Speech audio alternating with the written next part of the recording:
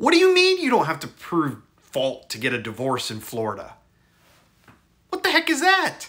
In Florida, you don't have to prove fault. Other states, some of them you do. You got to prove fault. You got to prove that the other side did something else that requires that, you know, the court says in their statute that is a reason for fault to go through with the divorce. So, like an affair, not the only reason, but again, it comes up. So, in other states, you do have to prove these things. You have to prove fault. Florida, completely different. So basically, not having to prove one of these certain delineated areas of fault or fraud or anything else. It's there's two things. First, residency. You got to prove residency in Florida for a divorce. So that means that you've been a resident of the state of Florida for more than six months prior to filing the divorce. Usually people show a driver's license at that final uncontested hearing. And depending on your jurisdiction in Florida, some of them are now doing kind of initial, we call them as divorce lawyers, and I'm a Florida family law divorce attorney. Uh, my name is William S. Foley. Uh, this is a channel I have for Foley Divorce. You can subscribe if you're getting anything out of it or you're interested in some more videos.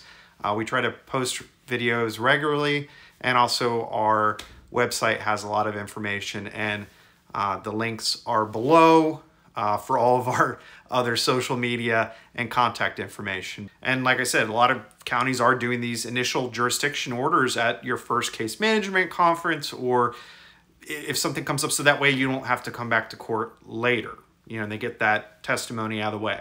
And the easiest way to prove residency, going back to that six month, is showing your driver's license, showing your Florida driver's license. And again, there's other exceptions for different things. If there's military, and the court's looking to see, okay, you filed for divorce on this date. What does the driver's license say? Does it go back six months prior to that? Or did you just get, you know, the, and sometimes people move out, they change their address. So a lot of times at the beginning of the case, we'll, we will personally ask for a copy of our client's driver's license just in case there's no other issues, you know, during the course of the case. So that's the first part of it, residency.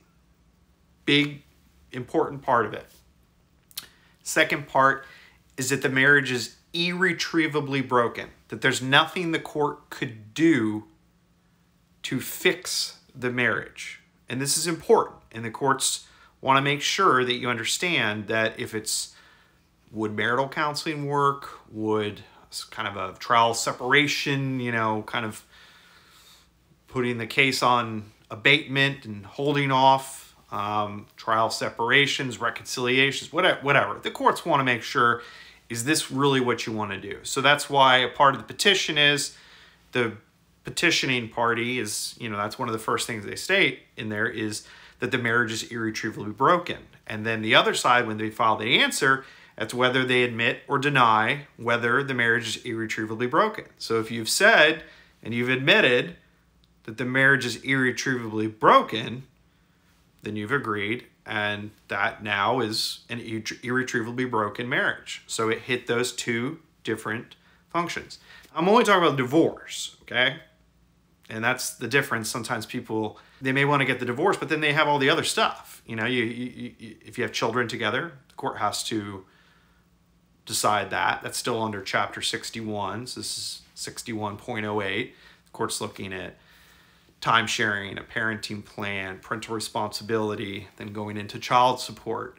Um, the court can look at alimony, can look at distribution of the assets and liabilities, can look at all these different issues. But that's different because sometimes either people that none of those things have anything to do with it and they just want to get a divorce. Um, sometimes they bifurcate the case, just divorce first and deal with all the other issues set different, but it's it's it's separate. Okay, the entry of the divorce is separate, and it only takes one. It takes one person to show that residency requirement. They've been a resident of the state of Florida for more than six months, and to state that the marriage is irretrievably broken. Again, speak to an attorney if it's it's true. They're you know we've in our practice filed you know various motions relating to you know counseling and things of that nature if it's warranted and if it's necessary and if if if the circumstances are um, but again, the court's going to take a real world approach to it that a lot of times at the final hearing, they'll say, you know, if I sent you back to marital counseling, if I ordered that you go, would that assist? Is there anything the court could do to assist? Or is the marriage truly irretrievably broken? And if it's irretrievably broken, then you've met that second part of the standard that Chapter 61 of the Florida statute looks at. Again, residency, number one, and number two, whether or not the marriage is irretrievably broken. So those are the two major components, and that is why Florida is a no fault state. And thank you for watching.